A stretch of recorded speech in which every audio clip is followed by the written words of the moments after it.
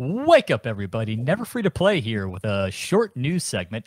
Uh, we wanted to cover a couple of news items today, starting off with some news out of Blizzard. You know, everyone's favorite, absolutely not favorite company right now, but they apparently are working on a new IP. Uh, recent news has come to light that Blizzard is hiring for a brand new survival type game set in an IP uh, that is different from its current properties. Uh, survival games have been kind of growing in popularity as of late, especially on the indie circuit. Uh, we'll start. Karch, any thoughts on this? Uh, um, yeah, I got some thoughts. Blizzard sucks. All right. And I'm not a fan of survival uh anything. Um, it's hard enough to survive in real life. I don't want to do it in my video games too.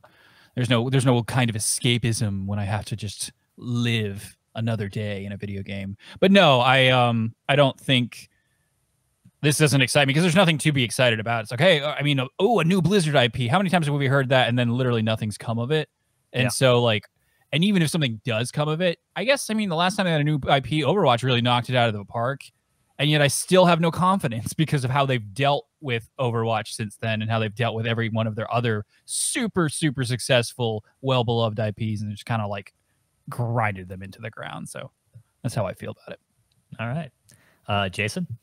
Um, I will be dissenting here because I, you know, a couple couple factoids to start off with. So, Overwatch was their last major uh, release, which was 2016. As far as I can tell, nothing's really been majorly released other than the remake of Diablo 2, which was a studio they ended up acquiring, uh, acquiring later. But Diablo, and then there's really nothing on the horizon either. Like Diablo Immortal is their only game launching this year. There's a mobile, not uh, a mobile game version of Diablo, so that's weird.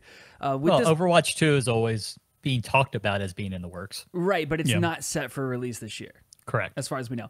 Um, I mean, neither is this game. Say this, exactly. We won't see this for five years probably. I know, and and you know what's also it, this made news, but it was a really low key release on their part because they just kind of put this blurb out there on their dev page.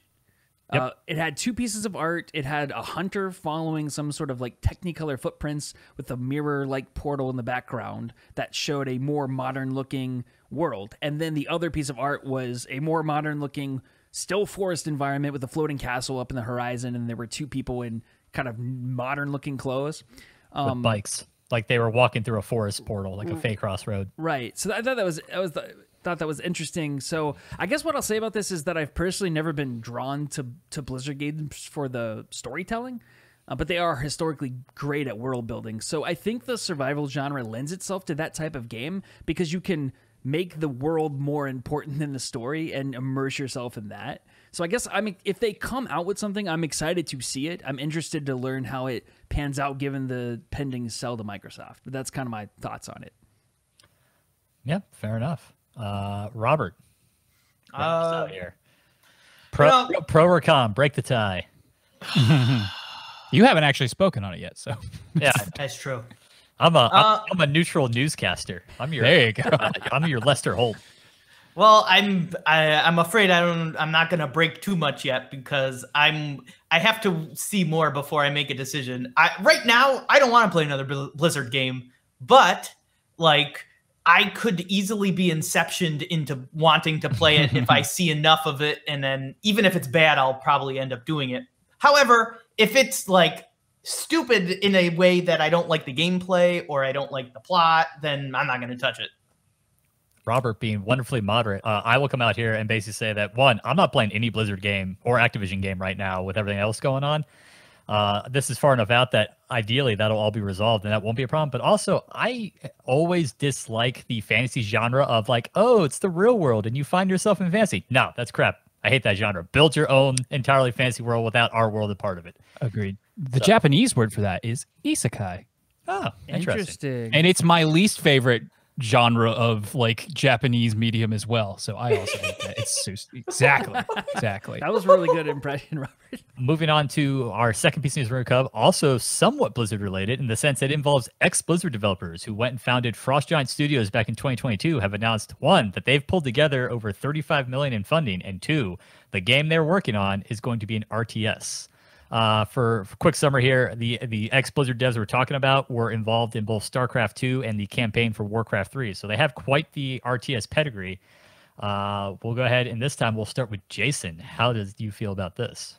So one interesting thing that that Sean didn't say yet is that Jason Schreier tweeted that that there have been rumblings uh, out there in the in the ether that say that Kotick would not fund an RTS game because he said it wouldn't make enough money. So it's interesting. We we have these developers who are passionate enough about the genre to leave. They want to make the next big PC RTS. They say our influences is a quote. Our influences will be Warcraft 3, Brood War, and StarCraft 2. We expect to be as different as those games are to each other. So I'm interested to see what they come up with. I personally suck at real time strategy games. Um, the way they talk, it seems like it's going to be a fully fledged AAA caliber game, but we've also seen former devs projects end up coming out something more indie, like in the case of It Lurks Below, uh, which was a game developed by the creator of Diablo, David Brevik. So I'll, I'll be interested to see how this how this plays out. Karch, thoughts? Game developers that leave big studios and then make their own little smaller studio and want money on Kickstarter always create really middling results.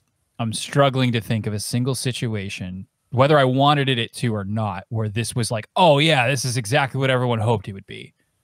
Um, because it never is. Uh, The Yooka-Laylee guys from the old Rare studio, uh, Mighty Number Visage, Mighty Number Nine, um, Bloodstained with uh, the the Castlevania guy. I forget his name off the top of my head. That was fairly successful, but it's always a very like only in that small like nin, not nindy indie style niche.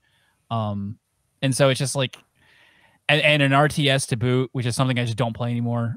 I might go play StarCraft 2 because I didn't ever got around to playing through the whole story, but like that's only because of the pedigree and history I have with that that uh, series. It's not because I need to play an RTS. So like, I hope they're successful, and I think they could easily find success depending on the scope of this project and and what they're expecting out of it. But it's not going to be like a It's not going to even know. No, it's not going to be a StarCraft 2 or a StarCraft 3 because oh yeah, one word, Torchlight. Torchlight did so well. Oh wait, no, Torchlight did not do so well. Yeah, my uh my quick thoughts on this before before I let Robert finish this up uh, are a I do find it interesting because we just got Age of Empires four, so there is a little bit I guess uptick potentially in interest in RTSs, but it's also worth noting that that 35 million or you know a little bit less than 35 million only allowed them to go from 30 to 50 developers, so it's not like it's bringing them up to the level of a AAA studio, uh, which I think just reinforces Karch's point. Uh, Robert, what are your thoughts? I I, I just agree 100% with you guys. So I got nothing else to add. You already did it. I agree. right. Yeah. Uh, that wraps up our quick news spotlight for this week. Uh, as always, hit that like and subscribe button if you want to see a quick roundup for you guys that are never free to play of the news each week. Uh, we'll get back to it, but as always, we are never free to play. Bye, Tell guys. us in the comments who you hate the most. Yeah. It's not me.